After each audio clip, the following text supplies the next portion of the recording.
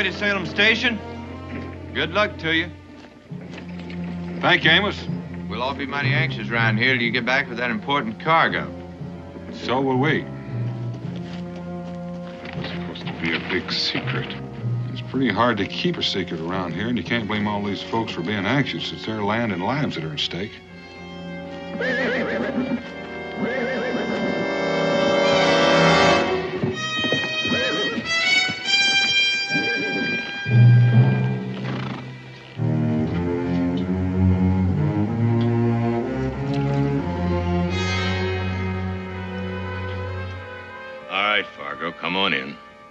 You're skulking out there in the dark.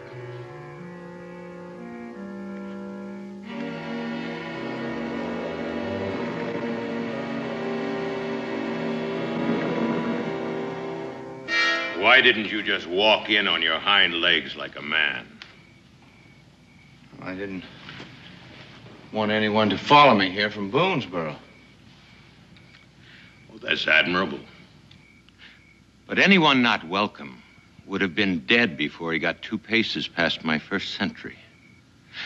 And now, the information that you promised me? What about my hundred dollars? Well, you get it. If what you tell me is worth it, How do I know you'll pay? I guess you'll just have to trust me. But I. No buts, Mr. Fargo. It's just that I've never done anything like this before. If it weren't that my sister was a bonded servant, I... Your personal problems bore me, Mr. Fargo. Well, I'll tell you this much. It's a shipment of arms and ammunition, How big a shipment? a full wagon load. And where and when? Look, you said if it was worth it. Well, you can see it is. Not until I know I can get my hands on it. Daniel Boone and his Indian friend are on their way to Salem Station to take delivery, Just the two of them? as far as I know. They can't be so stupid as to try to transport such a valuable prize without protection. Corbin! Luty! Mr. Amos Fargo will be our guest for a while. Mr. Decker, I gave you the information you wanted. Give me my money and just leave me alone. I just naturally don't trust you, Mr. Fargo. But when I get my hands on that cargo, you'll get your 30 pieces of silver. 30 pieces. It's the established price for selling out a friend.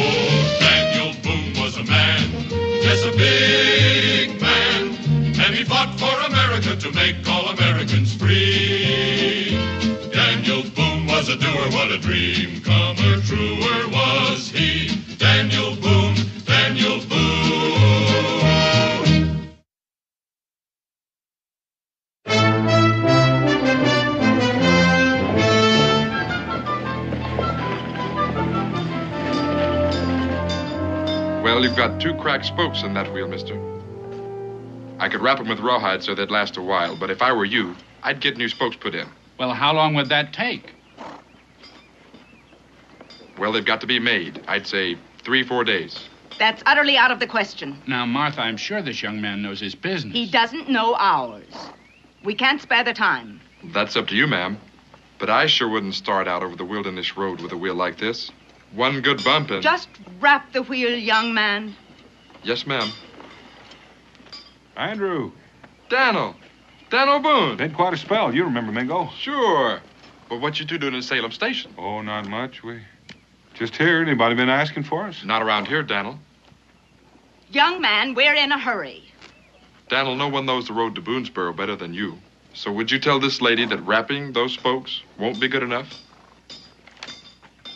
Ma'am, if I were you, I'd take Andrew's word for it and get that wheel fixed proper. I didn't ask for your advice. No, ma'am, you didn't. Pardon me, Mr. Boone. Yes, miss? My name is Susan Fargo. I'm on my way to Boonesboro to join my brother. Well, that'd be Amos Fargo. He's talked about you. He has? Well, hardly anything else. He's told me about trying to get money to. Oh, it's all right. I'm not an indentured servant any longer. Poor Amos. He scrimped and saved for so long to set me free, and now my master has just died, and in his will he gave me my freedom. Then Amos doesn't know you're coming? No, I want it to be a surprise. Well, I. That certainly will be a surprise to him. It's a long way to Boonesboro. Well, I'm traveling with the Wymans. According to his will, they're to see that I reach Boonesboro safely. Young man, are you just going to stand there gaping all day? Yes, ma'am. Mr. Boone, how soon will you be returning to Boonesboro? I don't know, ma'am. Why? Perhaps we could strike a bargain. I might be willing to pay you to guide us and see to it we get there safely. I'm sorry, I'm not for hire. Oh, I'll make it worth your while. I'll pay you $15 for your trouble. Yes, well, I must be getting back to the tavern, ladies. Well, I couldn't do that. Not this time. Uh, we'll look forward to seeing you back in Boonesboro. I don't wish to haggle, Mr. Boone. I'll make it 25. I'm sorry. Andrew, if anybody's looking for me, I'll be in the tavern. You are a greedy man, Mr. Boone. All right, I'll make it 35. I still think you ought to get that wheel fixed.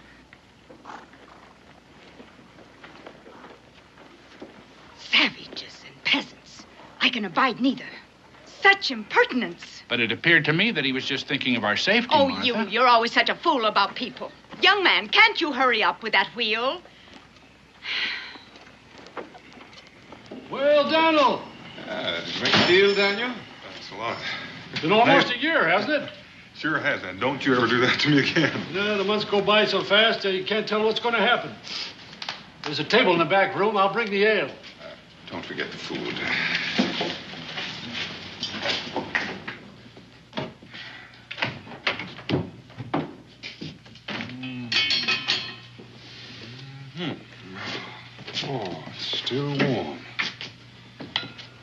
Sit over here, Daniel.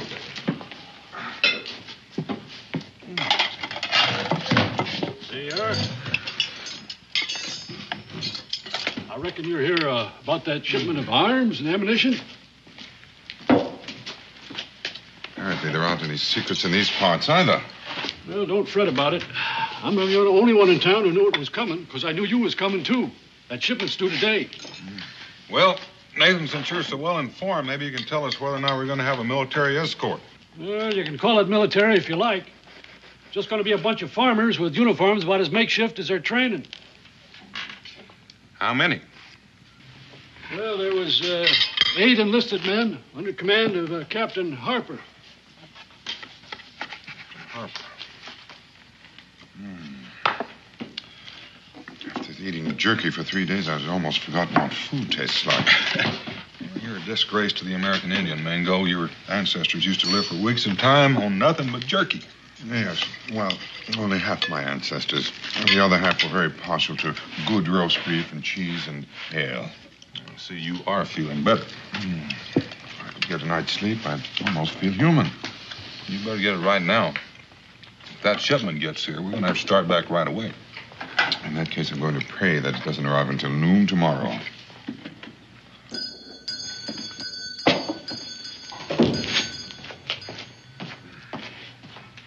Captain Harper, he's here.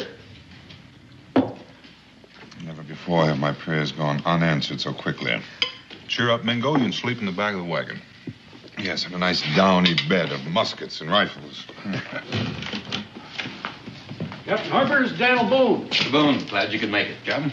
Uh, perhaps we'd better discuss our business outside. I think it'd be more private in here. He may understand English. Oh, I do, Captain. As a matter of fact, I like to think that I speak it fairly well. Captain Harper, my good friend Mingo. Well, you certainly look like an Indian. For good reason. I'm half Cherokee.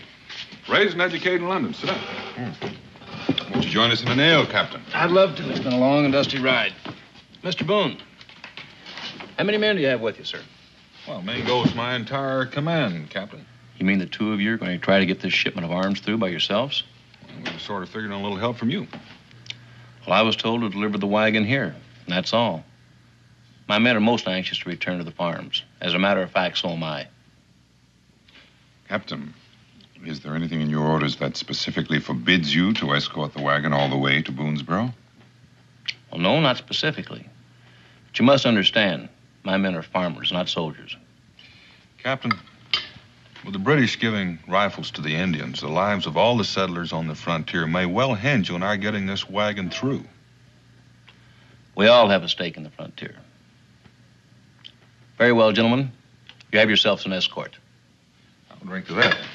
To a safe and peaceful journey.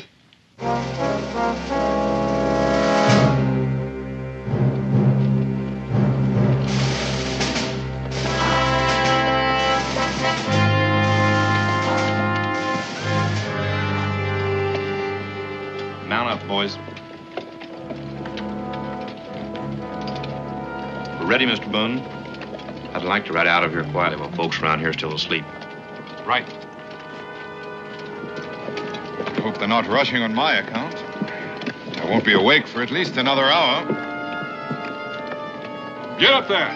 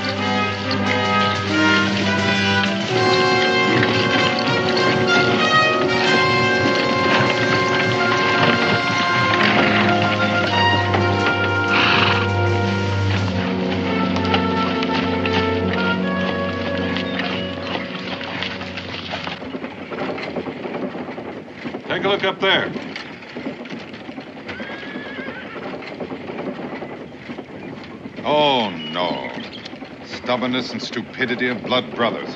Never mind your ancient Indian proverbs. The last thing in the world we need is excess baggage, and particularly that female. Now, Daniel, you did your level best to warn them to get the wheel fixed properly. I suggest we just close our eyes and go peacefully on our way. You wouldn't do a thing like that, would you, Mingo? I'm sorely tempted. At last, somebody's coming. Come on, John, get our things together. Hurry up. Why, I declare it's Mr. Boone. It's Mr. Boone. Miss Fargo? Hello. Mr. Boone, Hello, Miss Fargo. I hope you can help us. We seem to have lost a wheel. Well, it's about time you came along. That friend of yours is going to get a piece of my mind, Mr. Boone. The first little jostle and the whole wheel falls apart. Ma'am, if I recall, he tried to warn you. Getting us stranded out here in this wilderness, two women, and a poor excuse for a man. Heaven knows what could have happened to us. Well, don't just stand there. Help us load our things into your wagon. We seem to be causing you a great deal of trouble, Mr. Boone. Oh, it's not your fault, Come along, Miss Fargo. Uh, Mr. Boone. Do you think this could be some kind of a trap? No, I don't think so, Captain. We saw them in town yesterday, and we know they're en route to Boonesboro, too. Well, I certainly don't like the idea of them riding along with us. It's bound to slow us down. We've got enough on our hands with that cargo. Well, I don't like it either, but we can't move this wagon until we get that wheel fixed, and we can't leave them out here, no telling when another wagon will come along. Very well, Mr. Boone. It's your decision. I figure oh. we'll unload this and we'll get that wheel off, then we'll be on our way. It's all because way. of your greed, Mr. Boone. If you'd accepted a fair price to guide us, none of this would have happened. Daniel, would you mind? And if you think you're going to get paid one penny, you're sadly mistaken. It'll take all our money just to get that wheel fixed and pay our expenses while we're delayed. And one thing more, what are those soldier boys doing following us? Well, ma'am, those soldier boys just might save your scalp before we get back to Kentucky. What exactly do you mean by that? Mr. Boone. Mr. Boone, wait a minute. Mr. Boone, do you hear me? Mr. Boone, I'm talking to you. I demand an explanation. I might mean that we're carrying arms and ammunition in this wagon that a lot of people would like to have, including the Indians. Indians? Yes, ma'am. You mean. You mean we're in danger and you're deliberately compromising our safety by taking us with you? We'll be much better off right here. Yes, ma'am.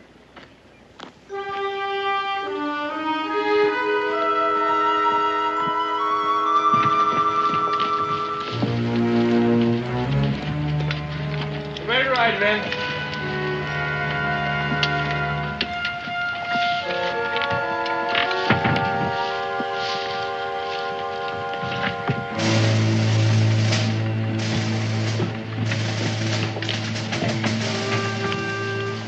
Daniel?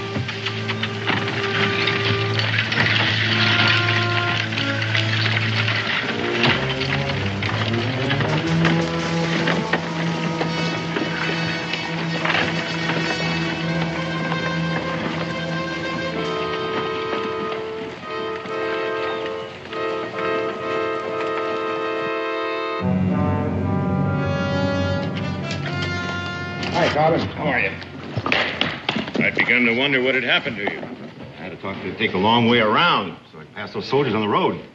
Soldiers? What soldiers? Captain and eight men riding escort to that wagon. Well, that's nine soldiers plus Boone and the Indian. They're 11 to our nine. You know, I don't fancy those odds. No. But would you fancy our nine to their two?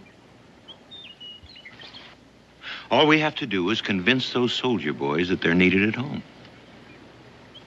How do you do that?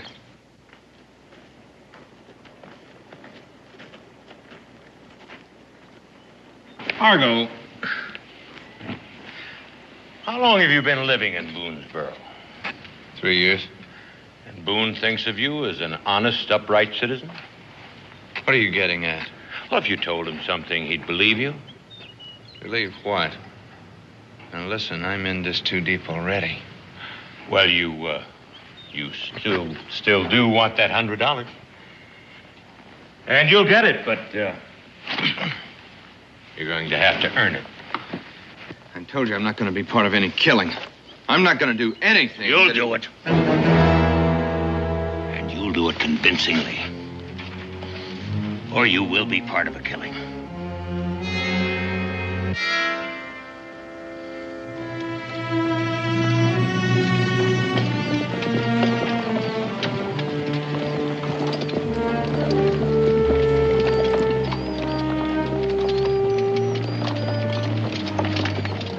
Mrs. Wyman, I wanted to thank you. That food was delicious. Thank you, Mingo.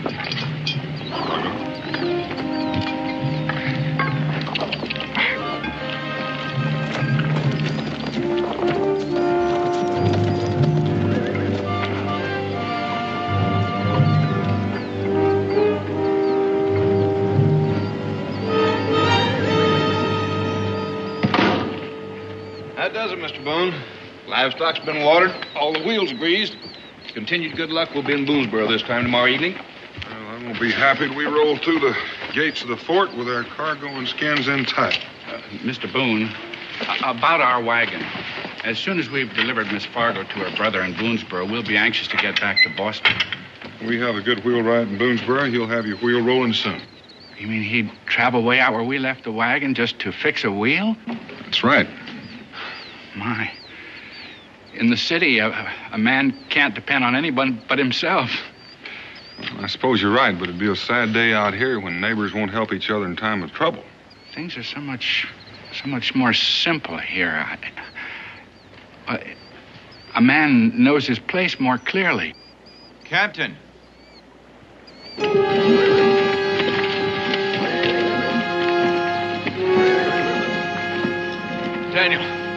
Mighty glad I run into you. Everybody's got to load up and move out right now. Now, hold on a minute, Amos. Mr. Boone, who is this man? Amos Fargo, friend from Boonesboro. What is it? Everything. There's no time for making overnight stops with the cargo you're carrying. The British are moving out of Fort 96 and marching into the valley. Captain, that's where my farm is. I, I gotta get to my family. My home's in that valley too, Captain. Ah, right, everyone's in. That means Boonesboro's in danger, too. With the Indian tribes to the west house in the pay of the British. Well, how'd you learn about this, Amos? A courier rode through Boonesboro. He wanted every able-bodied man we could spare to make a stand against the Redcoats, but nobody's moving until you give the say-so. Mr. Boone, I know I promised you an escort. This changes things considerably. I recognize the importance of this cargo to secure our flank on the frontier, but I understand, Captain. Everybody has a desire to protect their own. good luck to you, Mr. Boone. Sergeant. Yes, sir. Break camp. We're heading for home. Get these men mounted. You three men are dismissed. All right, men. Let's go. Man up. Dig out, man.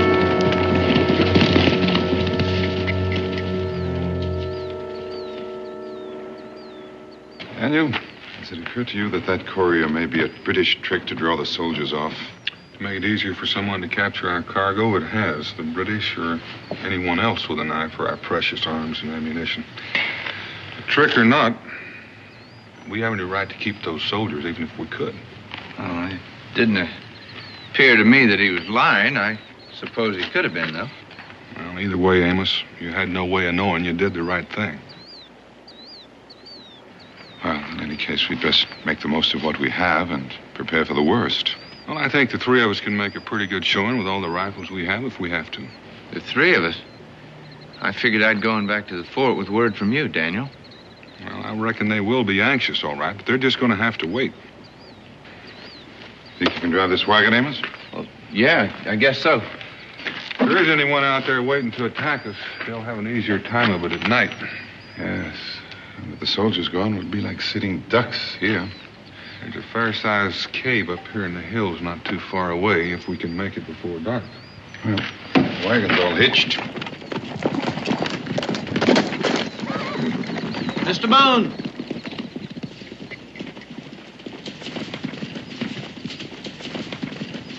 Bye to you, sir. Bye, Captain Harper.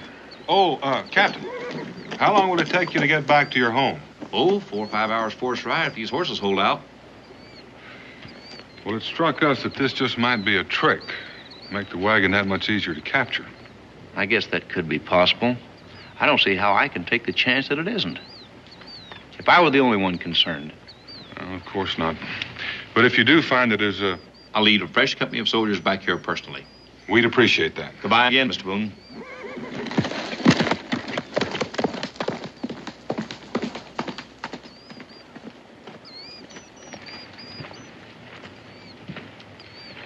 Five hours there, five hours back. I doubt there'd be any of us left to appreciate anything. I'd feel a lot better if we three were the only ones. Oh, by golly, Amos, I almost forgot. We got a surprise for you. Sur- surprise. Hmm. Susan?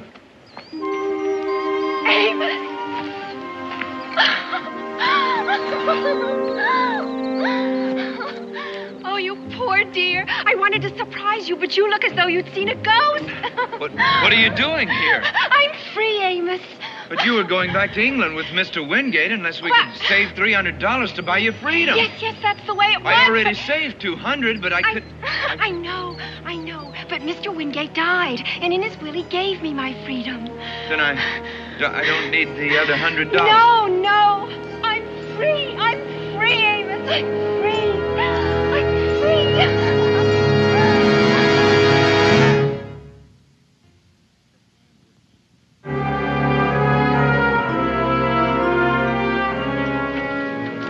Boss, your plan worked just like a charm. Didn't take those soldier boys two minutes to skedaddle out of there. Could be a decoy move. No, no, no. I trailed him for three, four miles. They ain't going nowhere but home. No, it still bothers me. Oh, Boone doesn't fool that easily.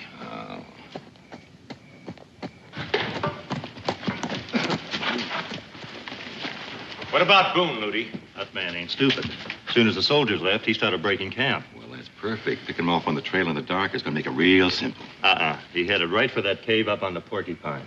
Oh. No doubt figuring to ford up there until morning. Well, that makes it easier. We'll have them caught up there just like a possum up a tree. Now, it stands to reason they haven't got enough food or water to hold out very long. Yeah, But long enough for that captain to find out that he's on a wild goose chase and then come back here to find out why. Why don't we take him now? That may require a bit of taking. Since he's decided to hole up in there, he must be smelling something in the wind. And then with all of those guns, gentlemen, Boone and the Indian could put up quite a battle. Then there's that other man and the two women with him. Two women and a man? You didn't mention that, Corbin. Well, they uh, they weren't traveling with him when they left the Salem station. Changes the odds again, huh? It does that. But uh, perhaps to our advantage. Those two women could get in his way. yeah, and Fargo's in there with him. Maybe he can get the drop on Boone when we attack. Yeah. One of the cardinal rules for men in our trade, gentlemen, is never put your trust in an informer. Yeah. However, Fargo or no, I'd say that uh, we have Mr. Boone precisely where we want him. All right, get your horses, gentlemen. We're going to pay a call on Mr. Boone.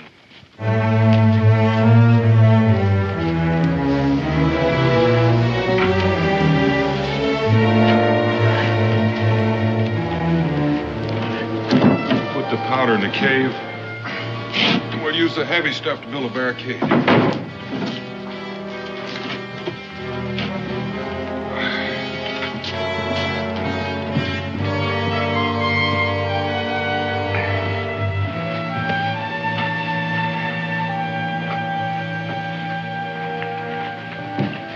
Us around like cattle. Insists we stay in this cave and doesn't tell us why. We have a right to know. Ask him. Oh, well, now, Martha, Mr. Boone. Ask him.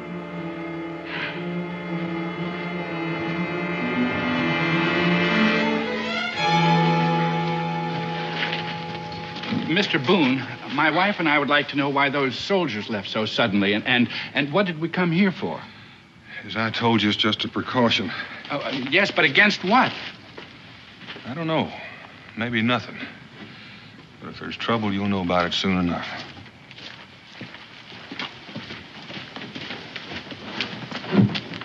Susan, we've got to get away from here without them knowing. What? You're in great danger here. I? What about the others?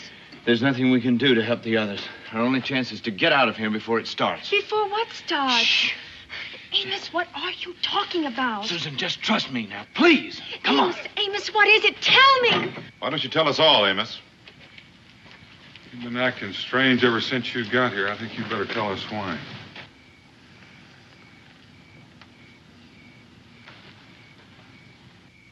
I, I sold out, Daniel. There was no courier. I was told to say that to draw the soldiers out. Oh, Amos. By whom, Amos? Who bought you?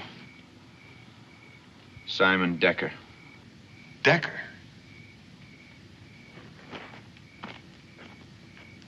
Don't you know who Decker is?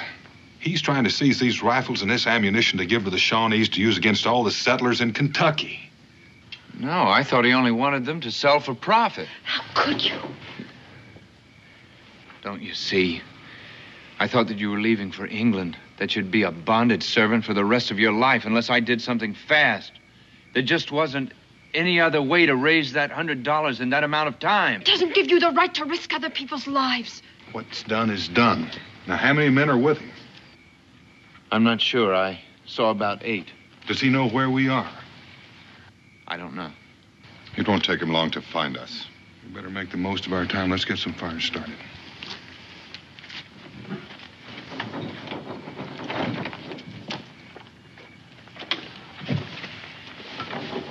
Daniel, I'm a pretty good hand with a rifle. I wouldn't know who you'd be aiming at, Amos.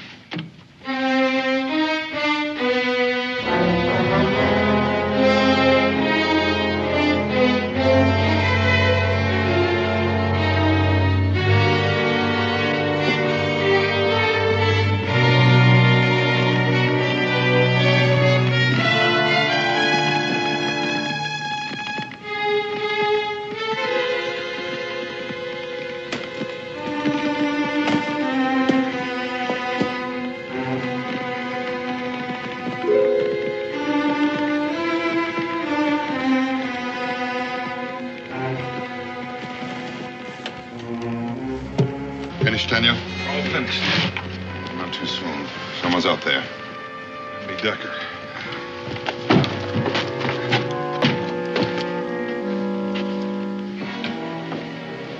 I'd rather be waiting for Indians or redcoats. Oh, locked in with a room full of angry rattlers, for that matter.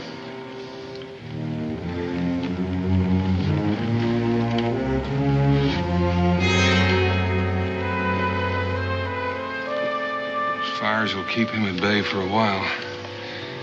He won't risk his skin unless he has to. Hmm. He knows they won't last all night. And if we move out to feed those fires, Pick us off with pleasure. Traitor. Because of your greed and stupidity, we all may die. Now, Martha, there's no good in it. Yes, there is. And if there's any chance at all of stopping those cutthroats, he's the one to do it. You leave him alone. Leave him alone. Maybe I should thank him. She's right, Susan. I'm responsible. If there were only some way to stop them. There is. There is. No, Martha. You just keep out of this.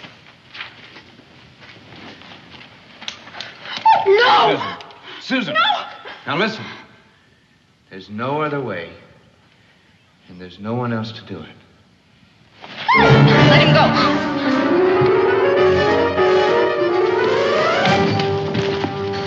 Amos! God, he's gonna try to kill Decker. That started, and Mrs. Wyman has started it. She's as good as killed Amos.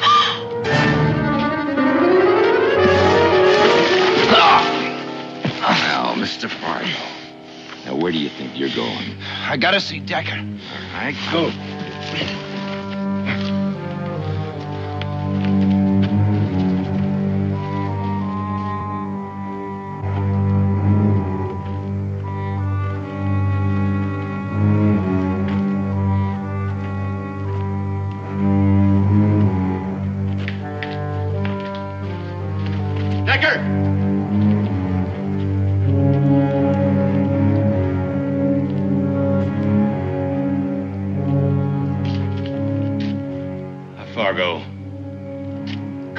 Blood money, hmm? I want to talk to you in private.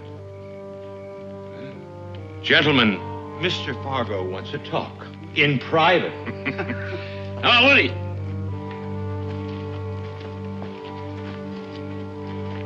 Well, uh, you've earned your hundred dollars. Boone knows you're coming after the wagon. He's ready and waiting.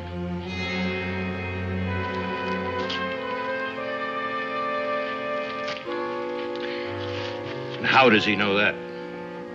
I told him. Then you came back here? We picked up some people on the trail. There's a man and two women. One of those women is my sister. Oh, I see. Well, that is too bad.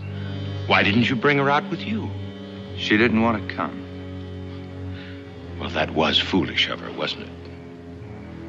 I don't want anything to happen to her, Decker. Of all the things in this world, what you want, Mr. Fargo,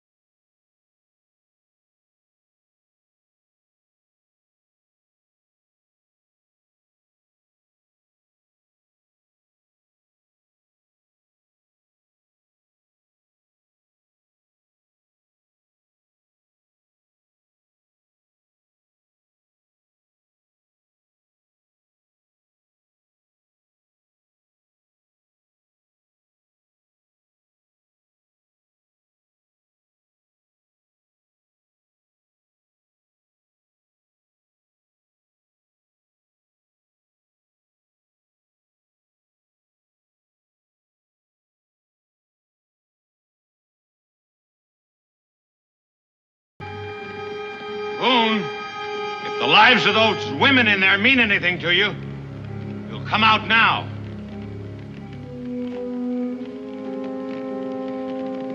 The only thing that interests me is this, is this wagon load of arms, nothing else. All right. If you give yourselves up peaceably now, you'll all be free to go. Now, that's my proposition. Well, any questions? Just one. How do you figure on getting back? Boone, this is. This is a flag of truce. Well, now, I admit it looks like one, and if anybody but you were carrying it, I'd believe it. Oh, Daniel, you rascal. Now, you just keep coming in a straight line between me and your boys out there, or I'll have to pull this trigger. Slowly.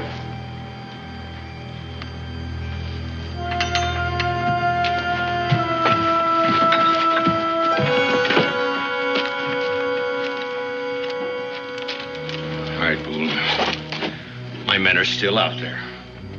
When those fires burn down, they're coming and get you. All of you.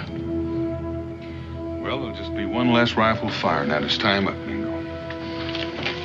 Now you've done it. Now none of us will live. That's right, ma'am, my boys aren't going to like this at all. Where's my brother? Where's Amos? He's dead. Now, all of you are going to have to die, too. All right, Decker.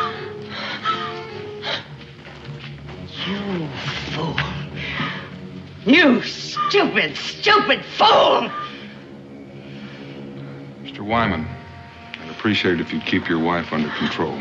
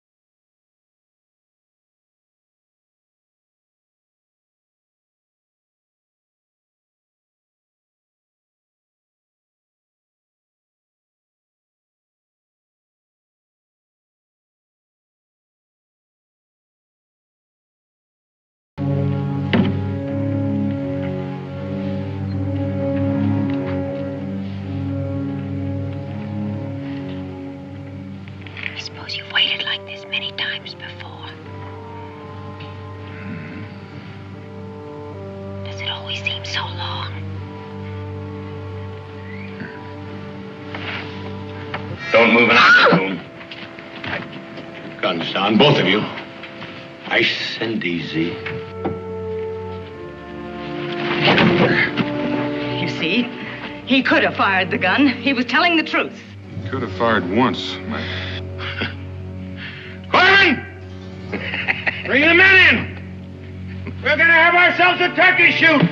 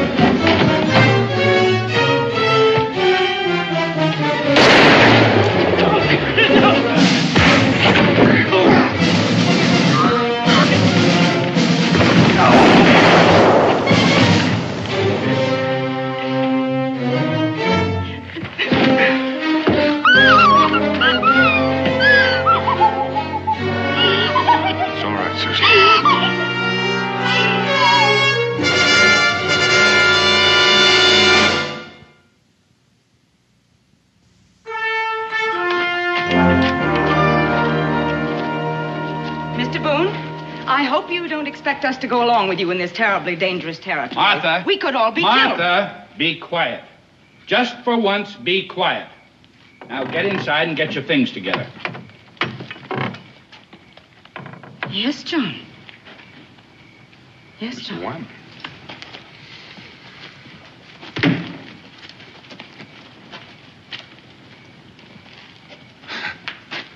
Well, it seems tonight the lamb has turned into a lion. Mr. Boone?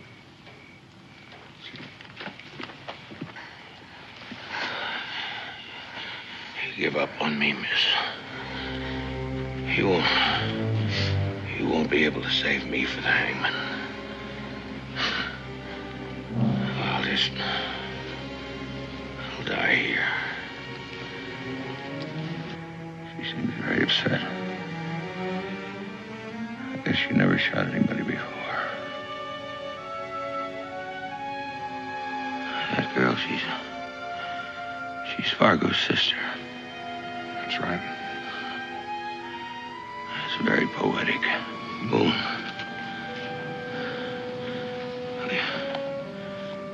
You, you give this to the girl.